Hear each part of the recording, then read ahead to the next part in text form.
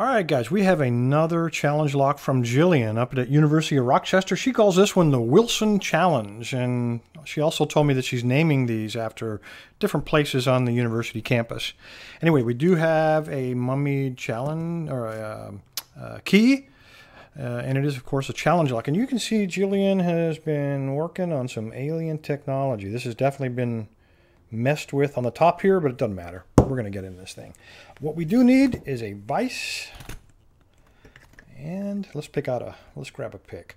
Let's first take a look at this. Um, Corbin Russwins are not too bad. You can, you can uh, uh, tension them from the bottom, but because of the warding, sometimes that's a little bit of a problem.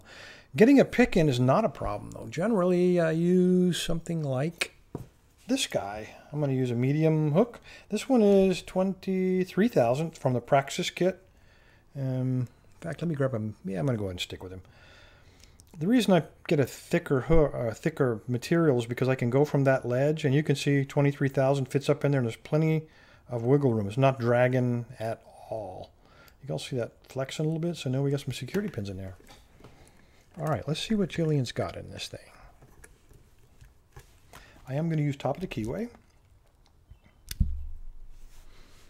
And let's see if I can find a good one here. Usually the 50,000th one, maybe, oh yeah, it does, okay. So that's what we're after. I'm going to turn a little bit so maybe if you can see if we get some feedback. And I am going to pick from that right ledge. The bottom is going to remain wide open. Not going to do anything down there. You know what, I'm going to, I'm going to go ahead and go with a medium hook instead of the short hook. Simply because it looks like I have room there. So I can find it. Here we go. Use this guy. Also, still 23,000. Still from the Praxis kit. Because it looks like he'll fit. Maybe a little tight. I got a really strong spring back there. Anyway, we'll worry about that when we get to it. All right, counterclockwise, why not? Slide it all the way in, light tension, and let's go to town. Okay, that was the last pin six. Pin five, a little click, and it turned a little bit. I am getting some counter rotation there. Come out of there. Maybe I should go with the other pick. Uh, this guy's a little bit tight in there. Yep, I'm going to have to go with the other one. Don't second guess yourself.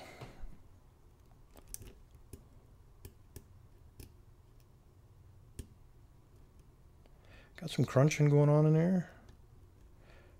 Got a little bit of false set working, but I got no counter rotation. Okay, that was pin three. Again, it didn't help me though.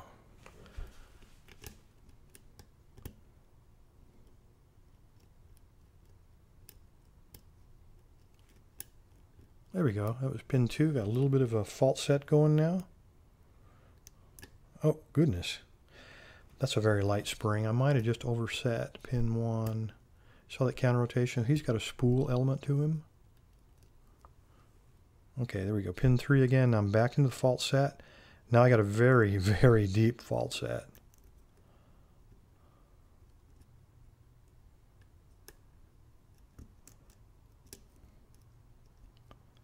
Okay, I get some counter rotation off of six, but I can't quite, there's not enough rise on this one.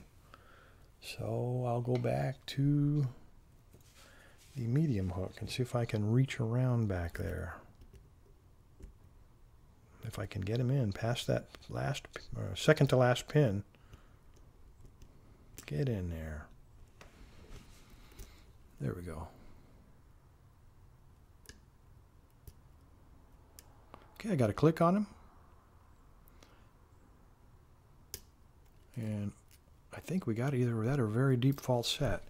All right, so we definitely got a T-pin. We got a number six. Feels like he's got a spoolish element to him. But let's see what kind of high-tech that they have at the University of Rochester that Jillian's using against us. I do have that key. Let's lock him up. Now that's weird. Well, I guess it is. It didn't look like it was vertical, but I guess it is. I looked at the actuator, and he's perfectly centered. Anyway, Um, it looks looks like masking tape. So grab this guy, just cut it off. This is not like some of that black nasty some of you guys wrap the tapes with.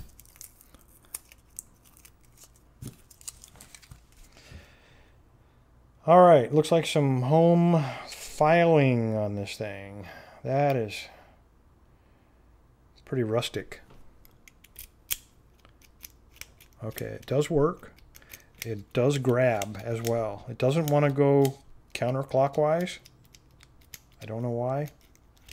And it does grab sometimes going clockwise, but it does work. So it's valid challenge lock. Despite this ugly looking key. All right, let's let's go ahead and gut him. See what we got here.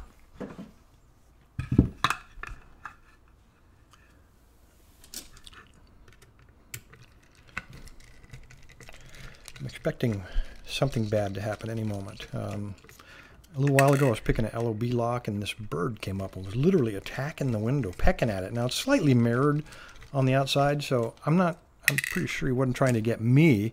He's probably looking at his own reflection, but uh, there was that. And then a little earlier, I actually saw some deer out in the backyard. Get off of there and they were headed for my garden. So I went out and started waving my arms from the patio, and they totally ignored me. Just looked at me like I was some kind of doofus. All right, we're going to rotate that.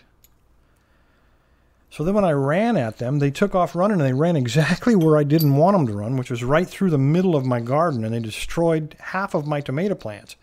All right, slide this dude out. So I got to be a little bit less excitable around here. It doesn't pay off. All right, I don't see any weirdness here. Everything looks normal. That second pin looks like he's grounded, just filed off, but he does look like he fits. I don't know why that was having so much trouble rotating. I expected to see one of the pins cut to not quite the right height. So let's see what Jillian's got here. We got a standard, we got a standard, standard, standard, Come on, man. Oh, there we go. We finally. All right, we have a, it is an ASSA pin that's been, looks like filed down to act as a key pin. So that's what I thought was maybe the spool element. Um, I don't see anything. It looks like on on chamber number one, I think that's just, yeah, that's just a manufacturing mark. That's not any kind of undercut. So it's completely stock core. Let's see what kind of magic she's got hiding up here.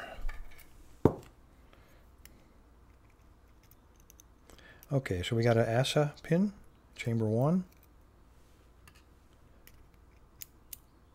We have a homemade spool with a rounded edge. That uh, Jillian, that would have made it just a little bit easier to hit the shear line on that one because we had a standard key pin and then a rounded edge which really widens up the shear line. Number three, we have a T-pin. Let me lay him down.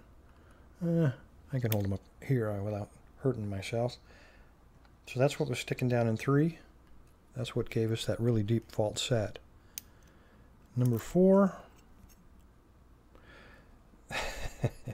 This is a side pin for an ASSA. It is not meant to be a, a driver or a key pin, but Jillian has fit that in there on us. All right, number five, another T-pin. Uh, another ASSA that's been modified. The small diameter was pointing down, which would act as a T-pin. And the last one, let's go from the other side.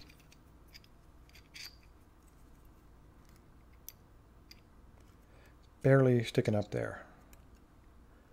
Really we oh look at that it just shot out of there. So he was a little caught up, and there's another one of those uh, um, side pin. These are finger pin, and if you look at it, it has a gate, and on this one the gate is dead center where the finger pin would fit in a in an ASSA like a V10.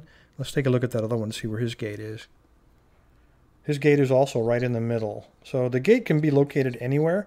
Again, these are not intended to be drivers, but hey, it worked. All right, let me go ahead and pull. The springs do look different. So this would be six, and that was kind of hung up there. And five, it is a standard sintered. Four, also a standard sintered. Three. Okay, so it looks like so far the only different one is going to be that last one in chamber six. Yep. And one more. And I need to look in the Bible because I just noticed this. We have some threads up in here. Let's get a light on it. All right, chambers. Well, let me just put it this way. Every single chamber has threads, bar none. Every single one of those threaded. So that's why the top was pulled off. Let's see if I can just slide that off of there without doing too much damage. Give you a look. I have replacements. That's the reason I'm going to go ahead and pull this off. I can put a brand new one on there so that the chambers won't be partially uncovered if I can get it off. So there we go. That's a little bit better view. This would be an excellent candidate to put some some uh, threaded Allen screws in. In fact, I might do that instead and turn this into a training lock before I send it back to Jillian. Make her job a little easier on challenge lock number three. Anyway, fellas, thanks for your time. Appreciate your appreciate your attention. Stay safe. Stay legal, Jillian. I appreciate it. So let's see what else the University of Rochester has to offer. Thanks, guys.